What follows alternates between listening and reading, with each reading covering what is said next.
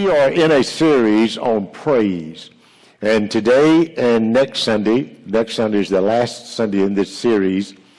Uh, and it's one of those things where we have been talking about what praise actually is and what constitutes real praise in my life and in your life. Today, our, our text is out of Hebrews chapter 13, verse 15. I have alluded to this in this entire series, but it hasn't been our text.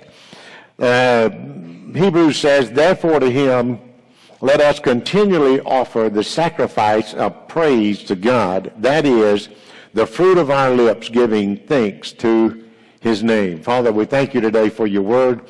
Give us insight and wisdom as we study in Jesus' name. Amen.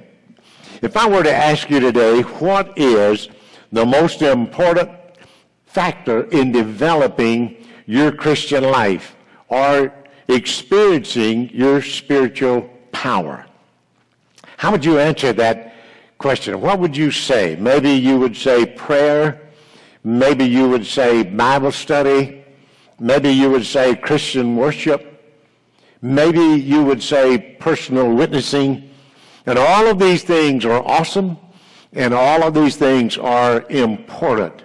But the most, the most important factor, uh, the most biblical factor in, in spiritual power in my life, in your life, in our everyday living, the Christian life, is to learn the meaning of the power of praise. When the Bible talks about praise, it talks about praise in terms of power. When the Bible gives us understanding on how to have power with God, it is through this process of praise. For an example, in Psalm chapter 9, verse 11, the scripture says, Sing praises to the Lord who dwell in Zion and make known to the nations what God has done. In Psalm chapter 33, verse 2, the Bible says, Praise the Lord with the harp Sing unto him with a psaltery and an instrument of ten strings. Psalm chapter 67 verse 3 says, Let the people praise you, O God. Let all the people praise you. And then our text says, By him therefore let us offer the sacrifice of praise continually, the fruit of the lips that confess his name. 1 Peter chapter 2 verse 9, the scripture that we've used in every Sunday as our text, but you are a chosen people, a royal priesthood, a holy nation, a people of his own, that we should show the praises of him who has called you out of darkness into his marvelous light. Child of God, I have discovered in my life and I have discovered in my almost 50 years of preaching that it is one thing to talk about praise in a general conversation but it is altogether something else. When we are, when we are living in the power of praise in our everyday walk with Christ. When you study the Word of God, the Bible tells us, first of all, that praise produces victory. Second Chronicles chapter 20, verses 15 through 22.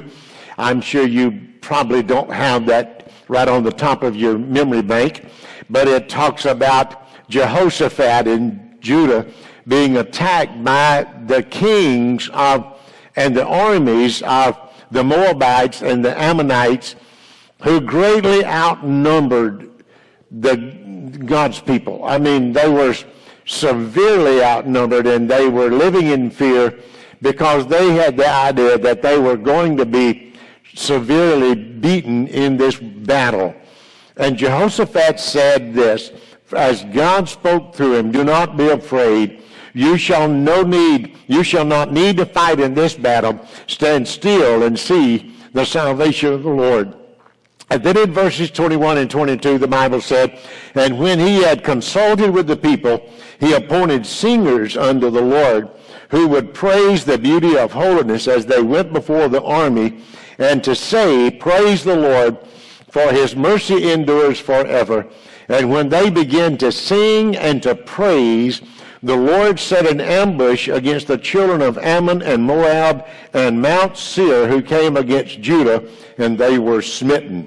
They were defeated by the power of praise. This great truth is seen again in Psalm chapter 8, verse 2. From the children and infants you have ordained praise because of your enemies to silence the foe and the avenger. So the Bible is simply teaching us that one of the great aspects of the power of praise is that it produces for us victory in our everyday living.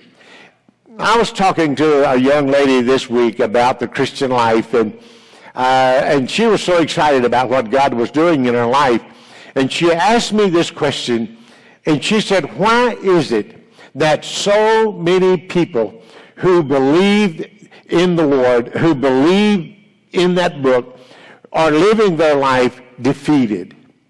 And you know, that is such a sad testimony on the church of the living God. Ladies and gentlemen, we ought to be walking in victory. We ought to be living in victory. We ought to have a swagger about us because we are more than conquerors through Christ who loved us. Isn't that true? Amen. Isn't that true? Thank you. I've got 15 of you already agreeing with me. I'll get the other 500 caught up with you in just a little bit. And so the Bible teaches that, first of all, that praise is, produces victory. And then it also teaches us that praise produces righteousness. Psalm chapter uh, 50 verse 23 says, He who sacrifices thank offerings honors me and prepares the way so that I can show him the salvation of God. Psalms 106 verse 1 says, Praise the Lord.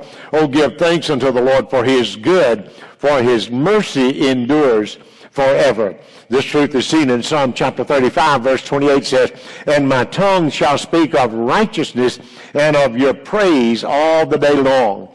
The Bible is simply teaching us that when we praise God, we begin to learn the real meaning of righteousness. You say, preacher, why is that? Well, because we begin to recognize the goodness of God. When we praise God, we begin to recognize the goodness of God. And the Bible says in Romans chapter 2 verse 4 that the goodness of God leads you to repentance. Now, ladies and gentlemen, I want you to listen to me. I want you to get this. When we really come to grips with the goodness of God, it will break the chains of legalism it will destroy the chokehold of denominationalism and it will set you free to serve God out of a heart of gratitude that is filled with joy. And when that begins to happen, when that begins to happen in my life and, and in your life, and when we realize that Jesus has set us free and there is an indwelling presence of Holy God in the person of the Holy Spirit, it releases you in your Christian law, in your Christian life, to have fun. Excuse me. My frog just went crazy. I have issues with my frog sometimes. I have issues with opening a bottle of water, evidently. I asked the doctor Duke how long this was going to be. He said, not long, about another year. And you'll be able to talk. Linda said he can talk already. so the Bible gives us an, an understanding that when we begin to praise the Lord in our everyday living, in our everyday living, I'm not talking about what we do here at church. The, praise is not automatic at church either, but you'll never feel comfortable praising God here if you can't praise Him out there. If now listen, you, you've heard me say this in this series. You're going to hear it again next week. Listen to me. If you are not comfortable praising God by yourself, you, I promise you, you're going to be intimidated to praise God here. Hello? Amen. While people are jumping up and screaming hollering shouting, you're going to be sitting like this. And you're going to be thinking to yourself, these people are getting on my nerves. Hmm. Yeah, amen. Now don't act like you don't know what I'm talking about. Some of you wrote the book. Hello? So praise not only gives us a sense of victory and not only a sense of, of joy, listen what else it gives us. It gives us a sense of confidence. Psalm chapter 57 verse 7 said, My heart is fixed, O God. My heart is fixed. I will sing and give praise.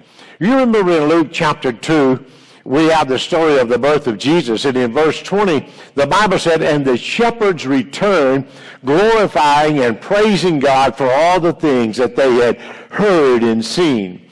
You see, as they began to realize that what they had seen, what they had become to understand, they began to praise the Lord, and their confidence in the things of God increased. Why is that? Because they realized that the Word of God was true.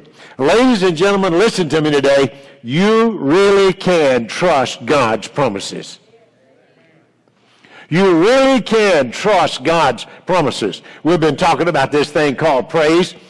But the kind of praise that the Word of God speaks about is not just something that you can manufacture. It is not something that we experience through social programs. It's not something that you can experience through positive thinking by itself. It is, it is not something that you can get through a series of self-help techniques. The only, there's only one thing that will cause a person to praise the Lord, and that is to come before him with clean and thankful hearts filled with the love of Jesus. The problem with most of us is that when we think of praise, we think about times of joy and we think about times of happiness and we think about times of uh, how God is obviously blessing our life beyond measure. But child of God, listen to me today. Our praise ought not to be limited to those times of blessings in our life. Our godly praise is something that ought to be a part of our daily walk, even when it comes as if we are overwhelmed by the storms of life. And so, for the next few moments, I want to talk to you about what happens when we respond with praise in those difficult times in our life. In those difficult times in our life. Now listen to me carefully. I know, and I don't know who you are, but I know. I know there are some of you that are fighting hell by the acre. I know there are some of you that, that feel like that you've gone through hell sideways this past week or last month or so. I, I, I, realize that there are some of you that are probably struggling with your family, struggling with your finances, struggling with your employment, struggling with, with life in general. But I want to, and, and you're the ones I want to talk to. I, I want to talk to all of you. None of us are here by accident. Isn't that right? I mean, we're all here back, but because of divine appointment. Isn't that right? Yes, all right. But I want to talk to you today about those of you, especially who are experiencing difficulties in your life. Maybe you've heard a, uh, a, medical report that contradicts the Word of God. Maybe you've heard some bad news that contradicts the Word of God, and you're praying and you're trying to, to get a handle on God. Uh, you're the people I'm talking to this morning. And the first thing that happens when you begin to praise God in these difficult times is it causes you to focus your attention on God. And when that happens, you begin to pray, Lord, I just want to praise you and I want to thank you for what's going on in my life and I want to bless your name. I don't understand it. I don't have all the answers, but I know, I know that you've got this. Amen. God's got this. Say it out loud. Yes, he does. So what we're doing when we begin to praise Him in this difficult thing, in these difficult circumstances in our life, is that we focus our life, our attention on the person of God. Psalm 113 verse 3 says, from the rising of the sun to the place where it sets, the name of the Lord is to be praised. Psalm 29 verse 1 commands us to ascribe to the Lord the glory due his name. Now let me just stop here long enough to talk to you about his name just a minute. I want to give you seven redemptive names of our great God. There is Jehovah Shammah, which means the Lord is there or is present. Therefore Jesus said, Lo, I am with you always. In other words, our God is an omnipresent God who is everywhere all the time. Wherever you are, God is there. Wherever you're going, God's already there. Whatever's going on in your life, God is aware of what's happening because He's there. And then there is the word Jehovah Shalom, which means the Lord our peace. Jesus said, my peace I give unto you. In a world filled with turmoil, we can know the peace of God that passes understanding. And then there's the name Jehovah Rohi, which is God is our shepherd. This is the same name that David used in Psalm chapter 23. The Spirit of God has a name that is tender and caring. It is God's guidance so perfect that we have no want. It is the guiding hand of God that makes us to lie down in green pastures. It is the guiding hand of God that leads us to still waters that are untroubled. Our souls are restored and we are led in righteous paths. Even though we walk through the dark valley of death, we do so without fear. Our heads are anointed with oil and our cups run over. That's why Jesus is called the Good Shepherd because he was willing to lay down his life a ransom for many. Then there's Jehovah Jireh, which means the Lord will provide. That's why Paul could make this promise in Philippians chapter 4, verse 19. But my God shall supply all your need according to his riches in glory by Christ Jesus. And there's Jehovah Nissi. The Lord is our banner, our victor, our captain. No wonder we've been told in Romans, thanks be unto God, who gives us the victory through our Lord Jesus Christ. And there is Jehovah Tsidkenu, which the Lord our righteousness. Romans chapter 3 verse 21 and 22 says, But now the righteousness of God apart from the law is revealed, being righteous being witnessed by the law and the prophets, even the righteousness of God through faith in Jesus Christ. Watch this. To all and on all who believe. 1 Corinthians chapter 1, verse 30 and 31 says, But of him are you in Christ Jesus, who became for us wisdom from God and righteousness and sanctification and redemption, that it is written, He who gloreth, who glories, let him glory in the Lord. Child of God, listen to me carefully. The moment you invited Jesus Christ to come into your life and forgive you of your sins and make you a Christian, you became righteous in Christ Jesus. No wonder Romans chapter 1 verse 8 says, There is therefore now no condemnation to those who are in Christ Jesus. Listen, when you have the righteousness of God, you are somebody. When you have the righteousness of God, you're an heir of God and a joint heir with Jesus Christ. When you have the righteousness of God, you are sealed with the Holy Spirit of God and predestined for glory. My soul. Then the next name is Jehovah Rapha, which means I am the Lord, your physician. I am the Lord that heals you. With that thought in mind, we're told in Isaiah, surely he has borne our sickness and cured away our pains. You see, you see, listen to me. Instead of focusing on our circumstances, instead of focusing on our situations, which causes us to sink further and further in and deeper and deeper in worry and despair.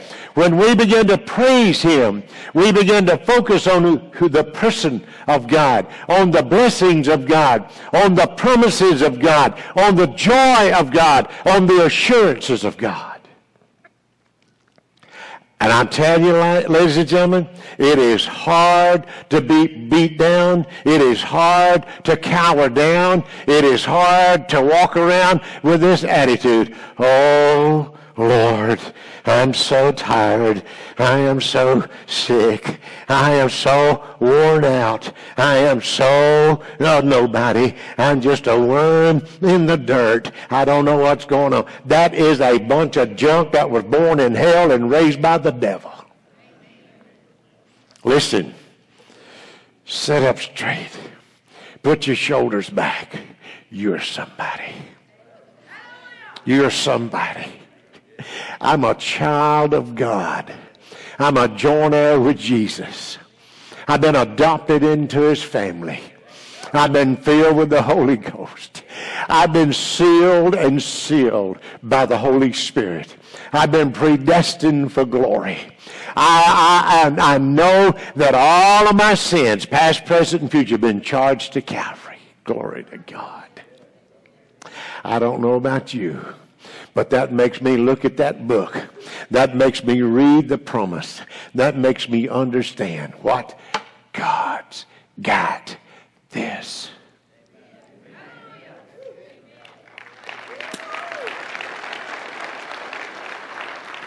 The second thing is when we respond in our everyday living by praising God, we, we're recognizing the sovereignty of God.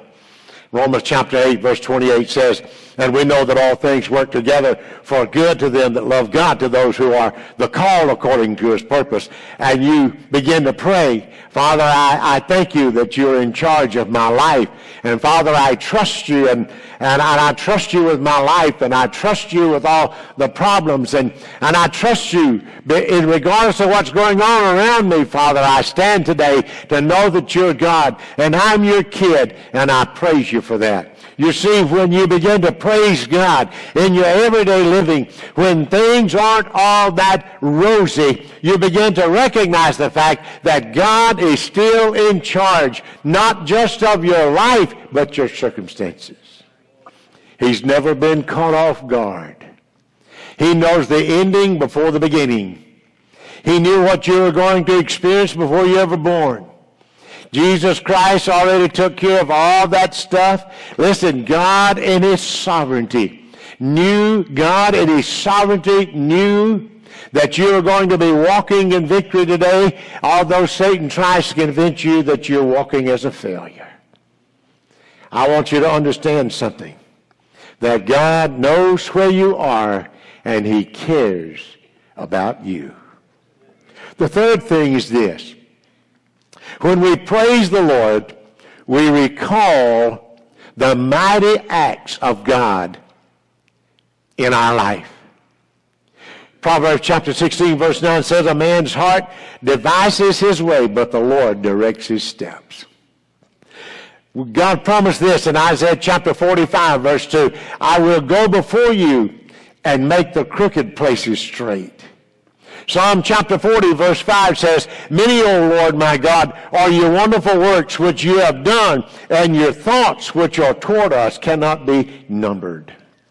In this time of, of difficulty that you're experiencing in your life, you can pray, I thank you, dear God, that you have never failed me in the past. Therefore, I know that I can trust you even today. Let me ask you a question. Has there ever been a time in your life when God has let you down? Has there ever been a time in your life when you needed God the most and he walked away? The answer to those questions is an absolute resounding no.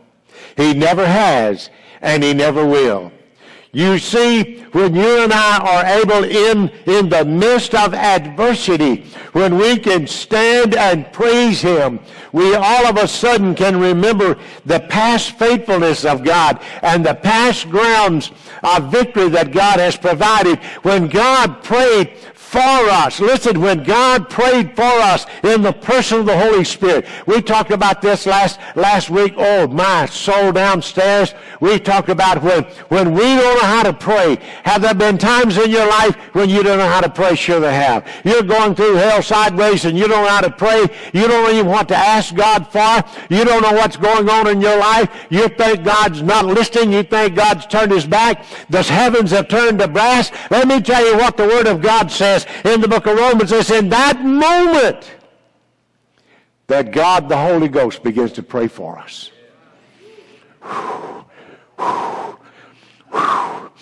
Listen, listen, when you don't know how to pray, because the indwelling presence of God, the Holy Ghost, He prays for us. He prays for us. I don't know what he prays. You say, how you know? Because the Bible says we're just groaning. We're just groaning words. We don't know what we say.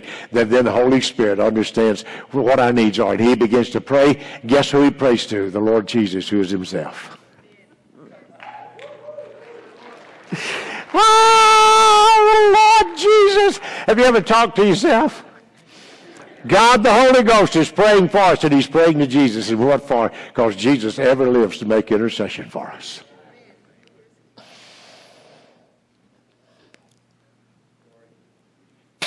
Man, I appreciate y'all praying for me. Man, I, you, listen, I'm telling you, I'm standing up here today because y'all prayed for me. I'm standing here today because we stood on the Word of God together and we, we ignored, we agreed together God's got this. But let me tell you something, folks. It's something else when Jesus prays for me. Mm-mm-mm-mm-mm. It's something else when Jesus is praying for me. Have you ever, listen, whatever you're going through, you listen to me today, whatever you're experiencing today, whatever you're going through today, whatever difficulty you're going through, whatever, what, when it looks like that the walls are coming tumbling down around you, remember this, that there is a God in glory who is praying for you. Mm, mm, mm, mm. You don't have to say a thing. You don't have to say a thing. Because he knows the innermost recesses of your life. And he knows your need. And he's praying for you.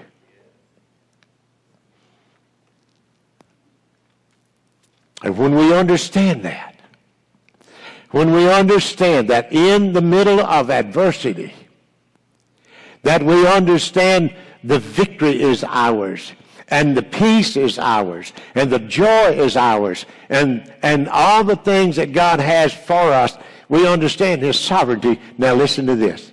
That makes us understand the fourth thing, our dependence on God.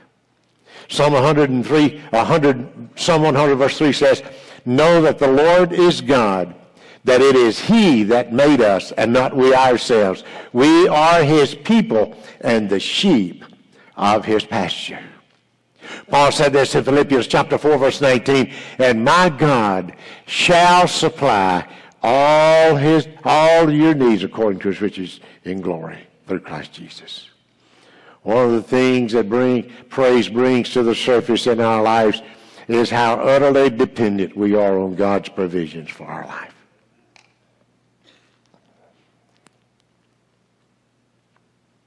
Ladies and gentlemen, listen to me carefully.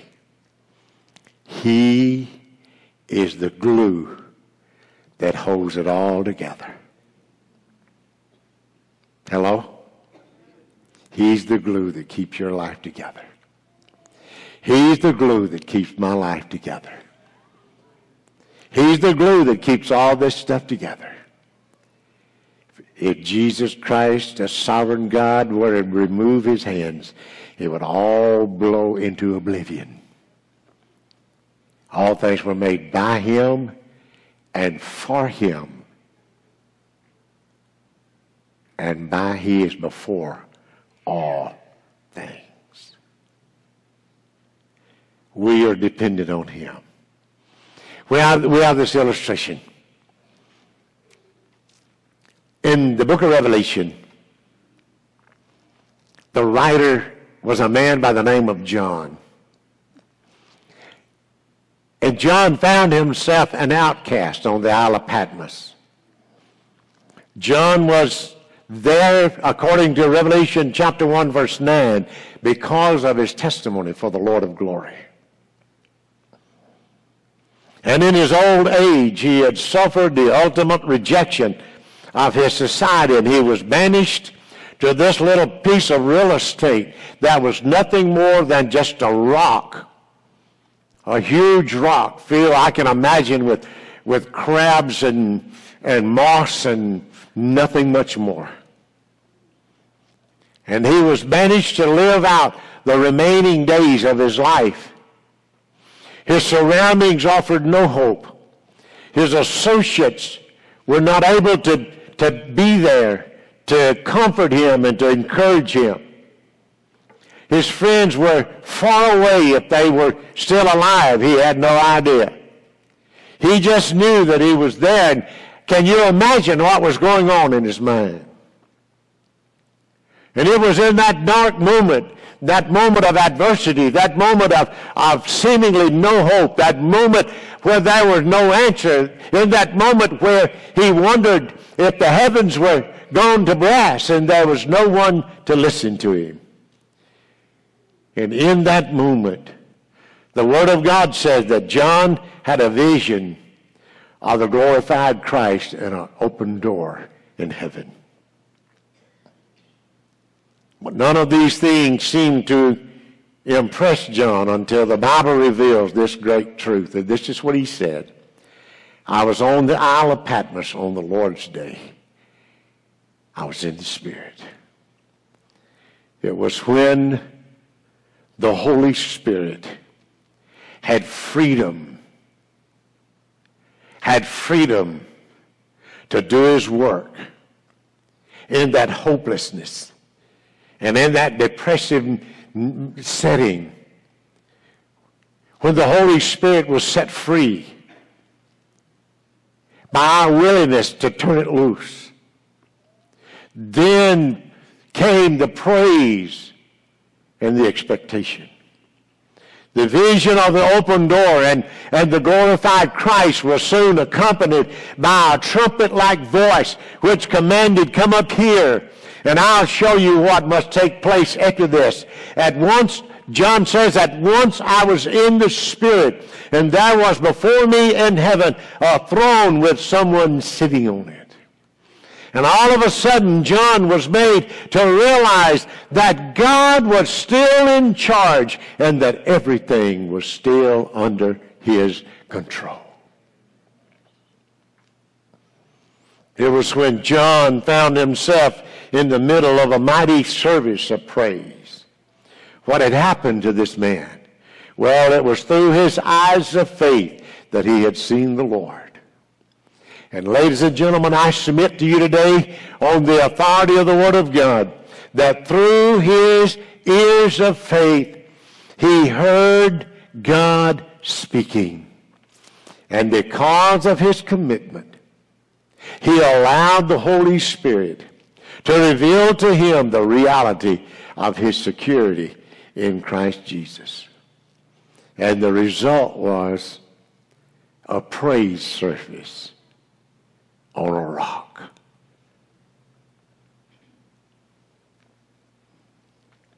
No band, no singers, no preaching, no Bible study, nothing that would cause goosebumps, nothing that would cause us to clap because everybody else was clapping, nothing. Just a rock. But on that day, John realized that he wasn't alone on a rock.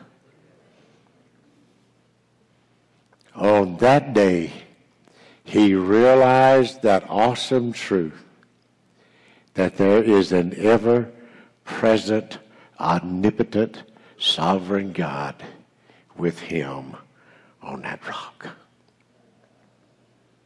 And whatever you are going through today, whatever you're experiencing today, whatever, whatever Satan is throwing at you today, whatever he is causing you to fear today, remember this.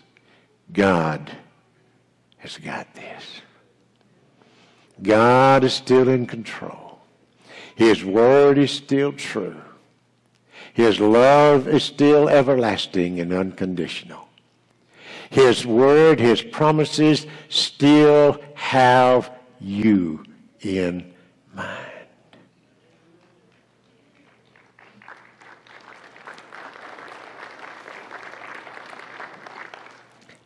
Now, you listen to me carefully.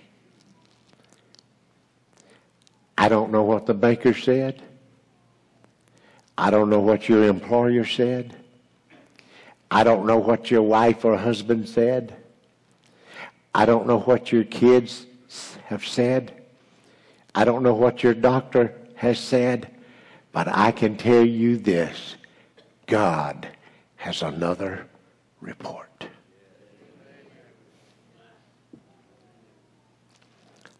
God has another report.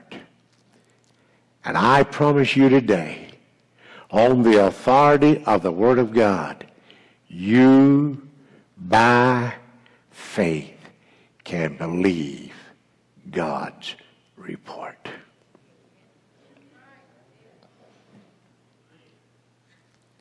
I've said it before, and I want you to nail this down. When your faith, when your faith and the Word of God becomes more real to you than the pain and the report and the gossip and the junk that Satan is throwing in your life, then you can stand up and shout, Thank you, Jesus.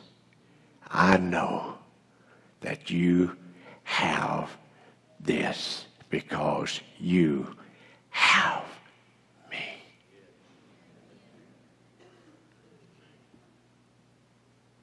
Amen. Say you're right, preacher. Let's stand together.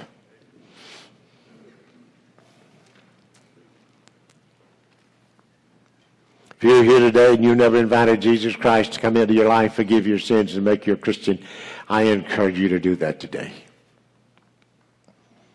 Heads bowed, eyes closed. If you'll make this your prayer, I want you to lift your hands straight up. If you're visiting, it's all right to hold your hands up if you're not in the business meeting. See, most Baptists didn't know you could hold your hand up in church unless they was voting against something. Well, today we're voting for something. Say it out loud with me, Father. Thank you for reminding me of your divine watch care over my life. Thank you for the promises that you've given me in your word. Give me the determination to live my life as a thankful life filled with joy and filled with praise. I can because I'm more than a conqueror through Christ who loved me. In Jesus' name. Amen. What God has put on your heart, I want you to step out from where you are, make your way to the front. You come right now. If you need to invite Christ into your life, I want you to come. God's speaking to you about church membership, I want you to come.